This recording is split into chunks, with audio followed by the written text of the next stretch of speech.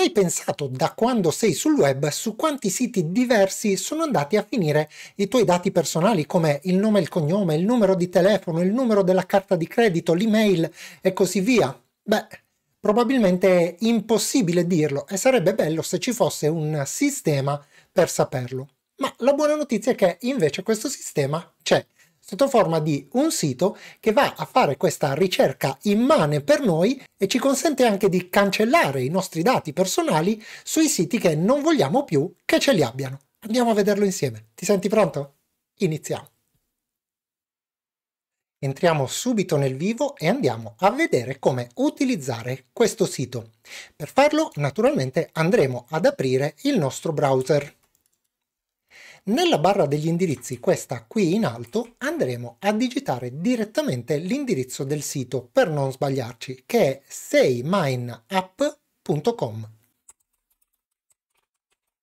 Premiamo invio sulla nostra tastiera e verremo portati direttamente sul sito web. La prima cosa di cui ci accorgeremo è che questo sito ci chiede la nostra email.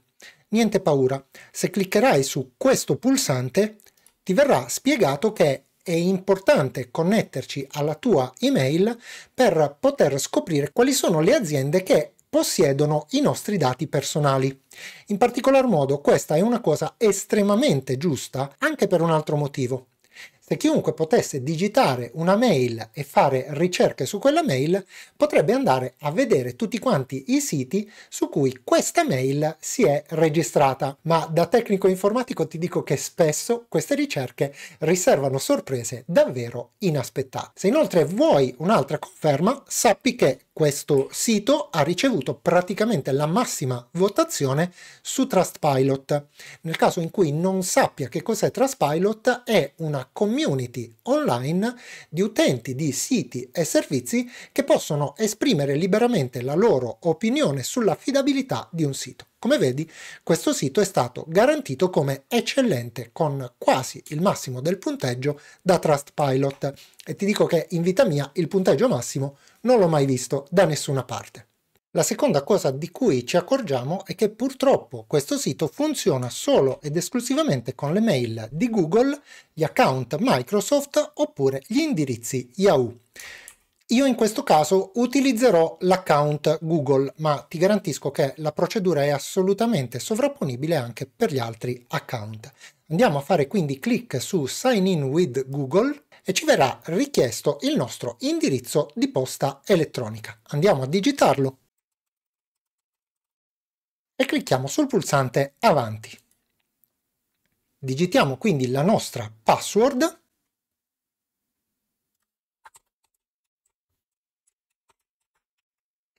e clicchiamo sul pulsante avanti. A questo punto ti premetto che è possibile se usi la autenticazione a due fattori che ti arrivi un messaggio sul tuo telefono per chiederti conferma del fatto che stai cercando di accedere con il tuo account a questo sito.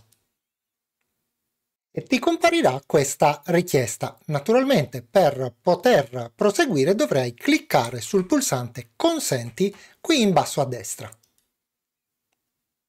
ci troviamo di fronte a un paio di pagine introduttive che ci spiegano che cosa fa questo sito per noi. Clicchiamo sul pulsante Next per andare avanti, clicchiamo ancora una volta su Next e ci viene fatto un piccolo indovinello. Ci viene chiesto se siamo in grado di indovinare quante aziende hanno i nostri dati prima di fare questa ricerca. Se vogliamo giocare con Mine, settiamo un qualsiasi numero tramite questo indicatore a scorrimento e quando siamo soddisfatti della risposta clicchiamo sul pulsante Next.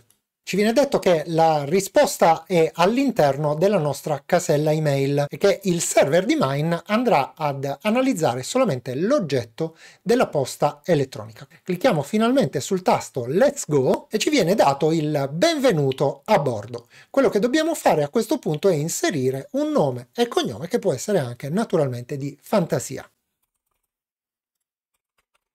Una volta fatto, clicchiamo sul pulsante Get Started e attendiamo alcuni minuti il termine dell'operazione di ricerca.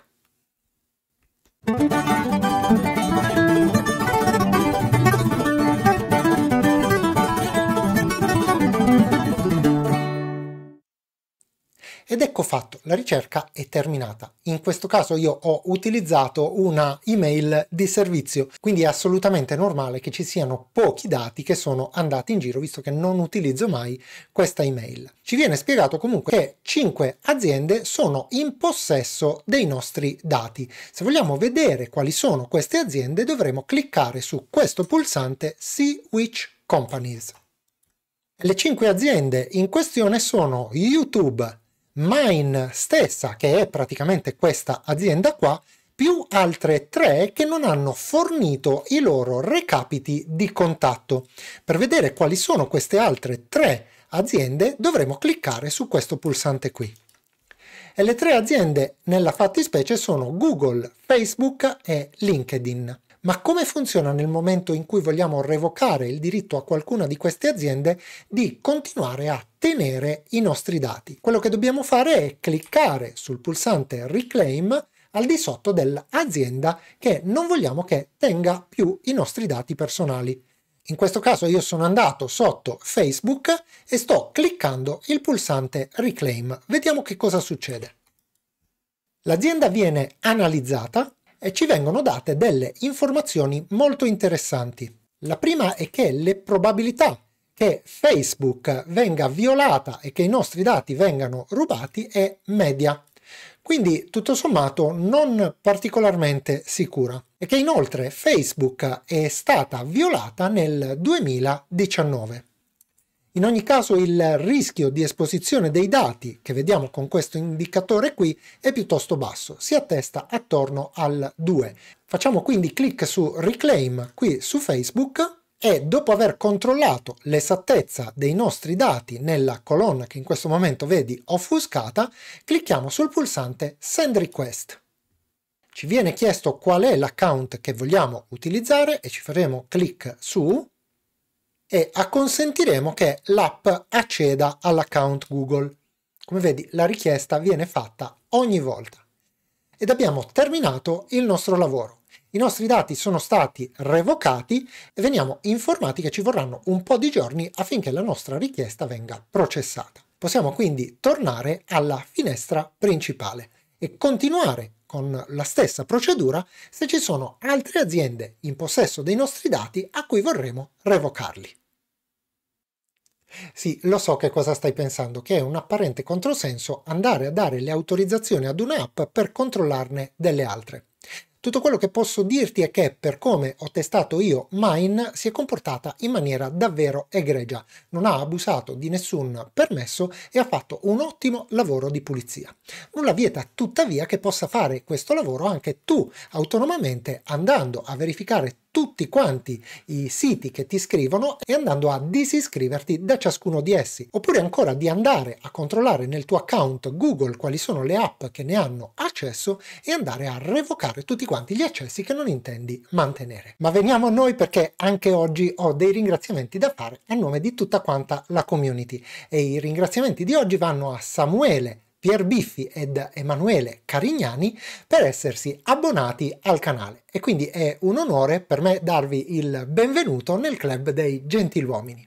Ma detto questo, come d'uso, l'ultimo ringraziamento è sempre quello riservato proprio a te, che hai guardato questo video, mi hai fatto compagnia e per questo ti mando il mio saluto e ti do, come di consueto, appuntamento alla prossima!